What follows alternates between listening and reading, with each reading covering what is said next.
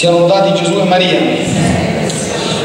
Perdonatemi fratelli e sorelle se faccio una piccola raccomandazione, perché già la messa precedente c'è stato qualche piccolo incidente, vi prego di controllare i telefonini, che siano spenti o silenziosi, perché durante la celebrazione della Santa Messa bisogna stare in contatto con il Signore, non con il resto del mondo, non udire suoni che disturbano, anche perché purtroppo il diavolo fa sempre dispetti Ieri ci ha sfasciato le campane con un fulmine proprio il giorno di Pasqua e stamattina ha fatto suonare i telefonini, la messa delle nove, sapete quando? Sempre così succede, quando stavo alzando l'ostia consacrata e quando stavo consacrando il calice. Quindi purtroppo combattiamo contro nemici sleali, quindi cerchiamo di togliergli le occasioni di peccato, quindi vi prego controllate bene i vostri dispositivi che stiano silenziati.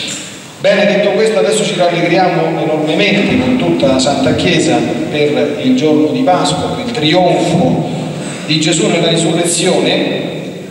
Come già detto nell'omelia precedente, io vorrei non soltanto ecco, ribadire il contenuto fondamentale dell'evento della risurrezione, che è l'attestazione suprema della divinità di Cristo. Nessuno torna dal cimitero dopo al terzo giorno della morte risorgendo per virtù propria, con una vita che non, più, che non può più morire se non Dio fatto uomo.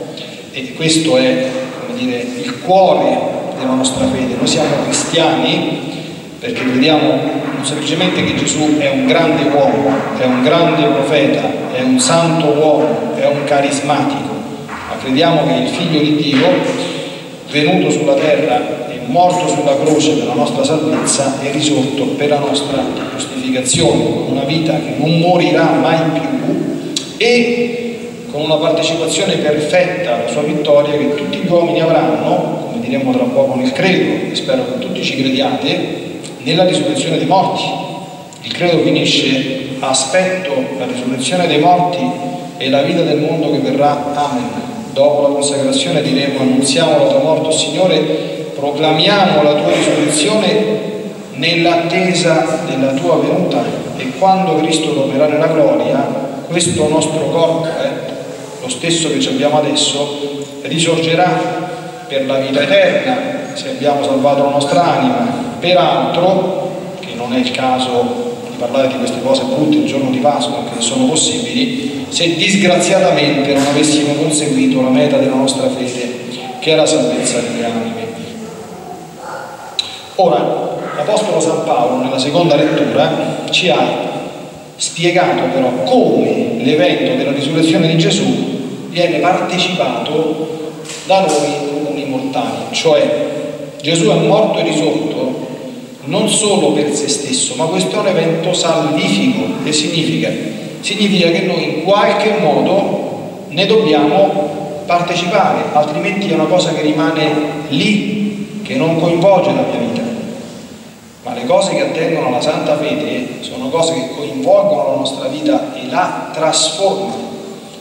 Cosa ci ha ricordato San Paolo? Sentite bene.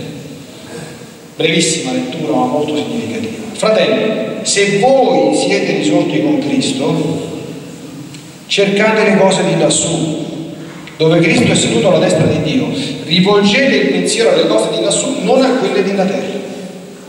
Cioè, Oggi è Pasqua. Io sto partecipando nel mistero di risurrezione del Signore. Da che cosa me ne accorgo? Dove sono rivolti i miei pensieri? Dove si trova il mio cuore? Sono tutto intento alle cose della terra? O peggio ancora a quelle cose della terra che dispiacciono al Signore? Quali sono, secondo l'insegnamento di Santa Madre Chiesa, i peccati? O penso ad altro? Dove è concentrato il mio cuore? Questo per esempio lo si vede, io raccomandavo domenica scorsa che durante la settimana santa il tempo sarebbe bene che si fermasse e si dovrebbe fermare il mondo intero. Come ho passato questi giorni? Eh, sono giorni dove sono successe cose grosse, eh? perché venerdì scorso il figlio di Dio è morto per noi. L'ho fatto il digiuno che la Chiesa mi dire di fare, ho fatto astinenza da pecare, ho cercato di stare un po' in silenzio, ho spento la televisione, ho spento i computer, ho cercato di dire, uè, il figlio di Dio, fatto uomo per me, oggi è morto una morte orribile, orrenda, per me. Questo mi annuncia la Chiesa. Che penso io dinanzi a Non importa niente, me lo lascio scivolare addosso. Ho trovato questa settimana un po' di tempo, come la Chiesa ci chiede, per fare una buona confessione di Pasqua, fatta bene, non solo farla tanto per farla. Voi sapete che la Chiesa ci ricorda che a Pasqua bisogna fare il cosiddetto precetto pasquale, cioè confesserai tutti i tuoi peccati davanti al Signore bene e tutti e ti farai la comunione.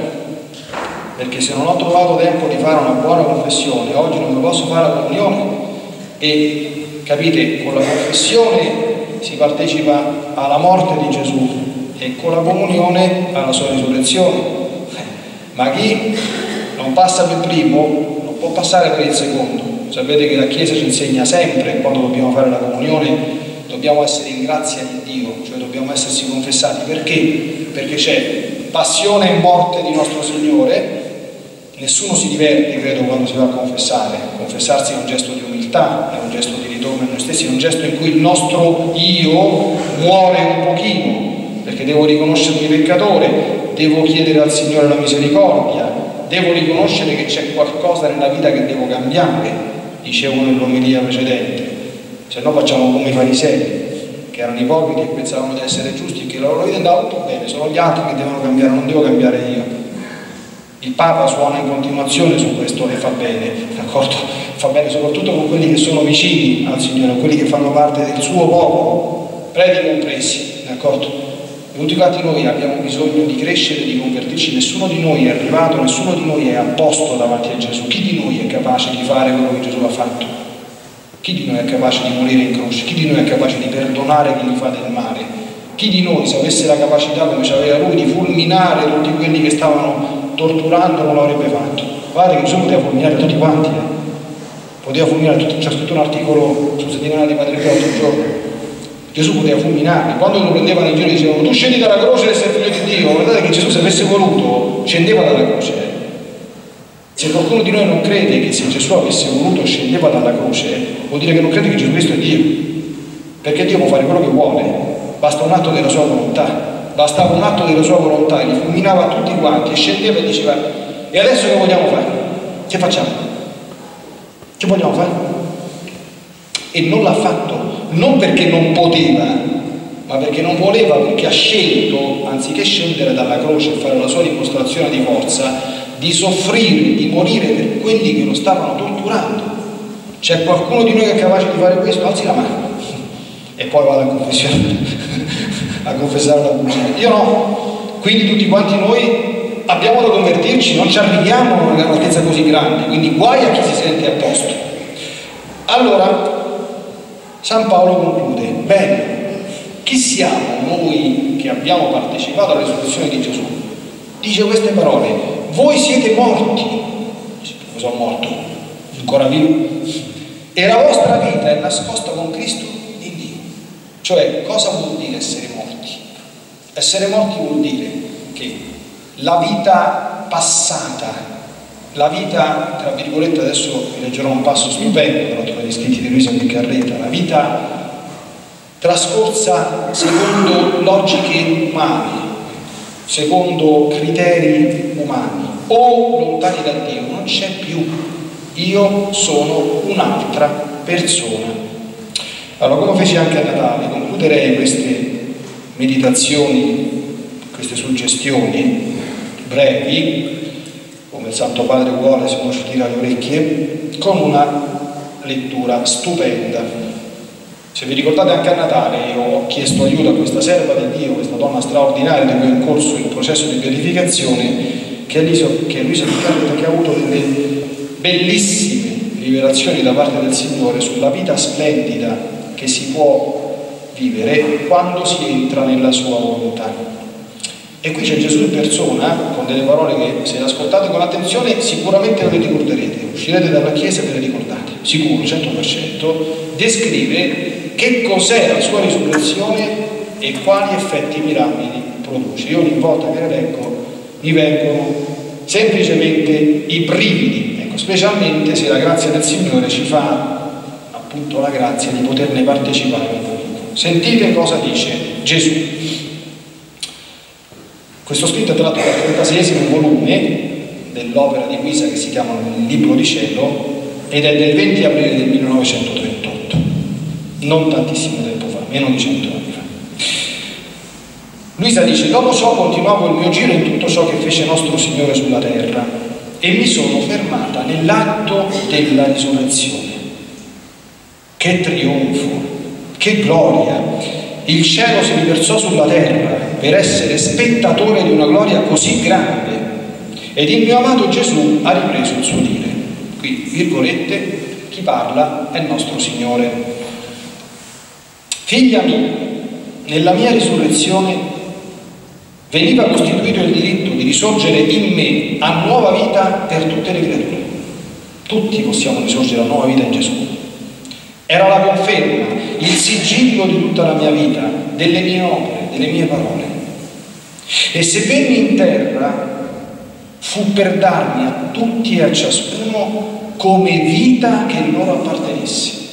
Sono parole che Gesù adesso pronuncia a me e a te. Sono venuto sulla terra per darmi a tutti e a ciascuno di quelli che mi desiderano e mi vogliono come vita che loro appartenesse. La mia risurrezione era il trionfo di tutti e la nuova conquista che tutti facevano da colui che era morto per tutti, per dar loro vita e farli risorgere nella mia stessa risurrezione. Adesso ascoltate bene. Ma vuoi sapere tu dove consiste la vera risurrezione della creatura?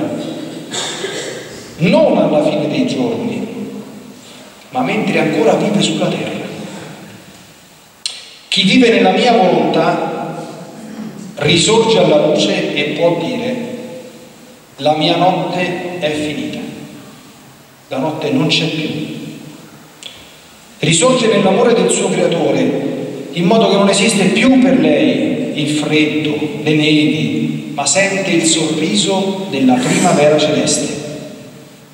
Risorge alla santità, la quale mette a precipitosa fuga le debolezze, le miserie, le passioni. Risorge a tutto ciò che è cielo. E dite le parole di San Paolo. Se siete risorti con Cristo, pensate alle cose di lassù. E se guarda la terra, il cielo, il sole, noi li guardiamo, li vogliamo bene la terra, il cielo il sole. Eh? ma li guarda per trovare le opere del suo creatore.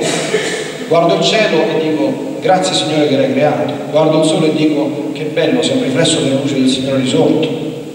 Sento gli uccelli cantare e dico che belle tonalità di voce che hai messo Signore in queste creature che mi allietano l'orecchio e che mi portano il tuo ti amo. E quindi guarda le opere del suo creatore per avere occasione di narrargli la sua gloria e la sua lunga storia d'amore. Dio ha fatto una lunga storia d'amore con noi e gli eventi di questi giorni ne sono il culmine.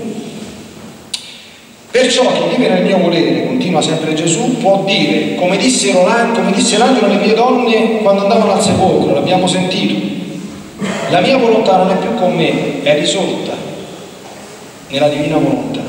E se le circostanze della vita, le occasioni, le pene circondano la creatura, come cercando la sua volontà, può rispondere la mia volontà è risolta, non è più con me, non l'ho più il mio potere, ho in cambio la divina volontà e con la sua luce voglio investire tutto ciò che mi circonda, circostanze, pene per formarmi tante conquiste divine.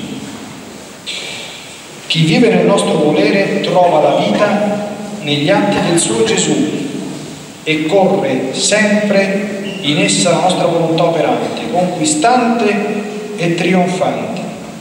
Ci dà tale gloria che il cielo non può contenerla. Vivi sempre nel nostro volere, non uscirne giammai, se vuoi essere il nostro trionfo e la nostra gloria. Io vi auguro che la vostra Pasqua sia simile a questa e con la Madonna che ha sempre vissuto la gioia pasquale vivendo la divina volontà, auguro e rinnovo a tutti gli auguri davvero di una santa Pasqua nella gioia del Signore risorto.